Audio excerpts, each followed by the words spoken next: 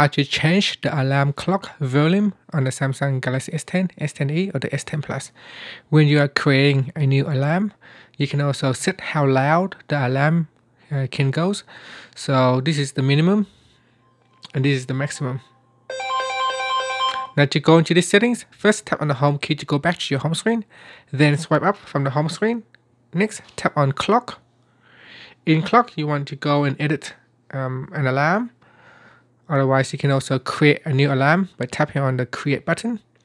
To edit an existing alarm, tap on an alarm and then tap on alarm sound. Now, down here at the bottom, you can change the slider bar to uh, set a, a volume level. So select a volume level that you like and then tap on the back key to go back and then tap on the save button to save the changes. And that's it. That's how you can change the clock alarm volume level on the Samsung Galaxy S10, S10e or the S10 Plus.